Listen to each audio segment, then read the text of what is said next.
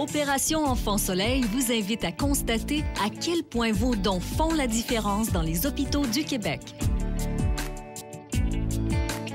Depuis 2006, le ministère de la Santé et des Services sociaux appuie Opération Enfant Soleil pour financer des projets d'immobilisation en région. 800 000 a été alloué afin de permettre à 12 centres hospitaliers de rénover, d'aménager ou d'agrandir leurs unités pédiatriques.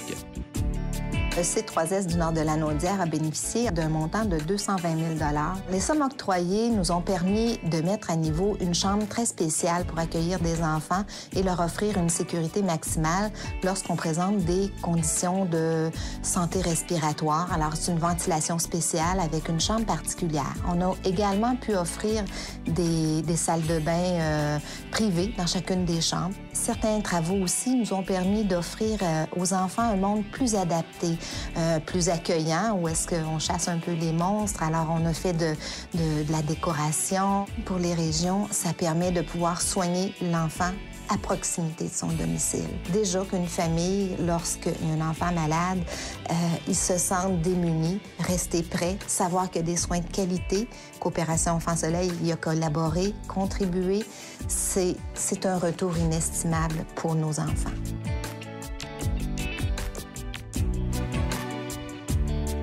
Ensemble, nous pouvons faire une différence.